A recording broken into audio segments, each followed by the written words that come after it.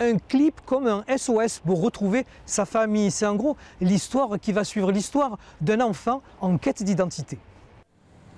Il est né Abdallah Sali.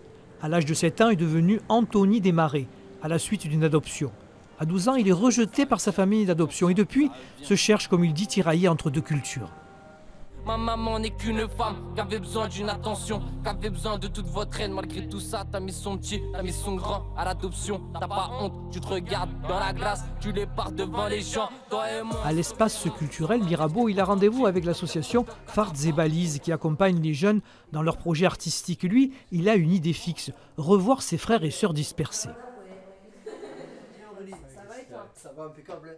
a dépassé l'aspect de, de peur, de, de- de honte, euh, qui est souvent attaché. La culpabilité, elle est souvent lourde pour ces enfants qui sont passés par des foyers, des abandons. Et en fait, il a dit de toute façon, le constat, il est comme ça, maintenant, c'est l'avenir.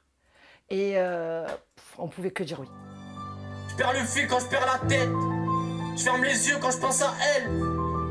Je pense à elle et je pense à eux. Je pense à eux et je pense à nous. Dans le cadre du projet Des mots de la rue, on l'aide à l'écriture, on l'assiste au son, à l'image, mais il n'a pas la prétention d'être un artiste même s'il a du talent. Non, ce qu'il veut, c'est les retrouver, se retrouver. Mais tout ça, ce n'est qu'un passage. Je cherche juste à être rassuré, à, à me- à- à pouvoir dormir aujourd'hui et me dire que bah, j'ai pas un petit frère qui a subi l'histoire de ma maman, qui a, qui a subi son placement au foyer, qui a 18 ans est à la rue. Et, euh, et demain, je vais m'endormir en, en sachant que tous mes petits frères et sœurs, ben, s'ils ont besoin de quoi que ce soit, ils savent que éventuellement je peux être là, Et vous voulez les retrouver? Bien sûr. Tiens, tiens, ça sent la fin d'une histoire de fils. Rien n'est gagné, mais à 20 ans, Abdallah est un exemple pour tous ceux qui se cherchent.